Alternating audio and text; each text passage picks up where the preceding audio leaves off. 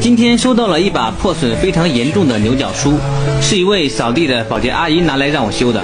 我看到破损的牛角梳基本没有维修的余地了，而且估计修好了也没办法梳头了。我和阿姨说，要不别修了。阿姨很失望地说，这把梳子是她已经离世的父亲送的，从小一直用它梳头，都十几年了。今天在收拾的时候发现了这把梳子，刚好通过视频认识了我。孩子快生日了，他想给孩子一个惊喜，可是买把新的比较昂贵。对于一个单亲家庭而言，阿姨的收入是瞒不了的。听到这里，我决定免费给做把一样的牛角梳。做完后，阿姨问我要多少钱，我没要。做好的是一把普通的牛角梳，修复的却是阿姨对女儿的爱。我用六个小时免费帮阿姨做把梳子。观看视频的你，愿意花费一秒钟为我这个视频点个赞吗？谢谢你。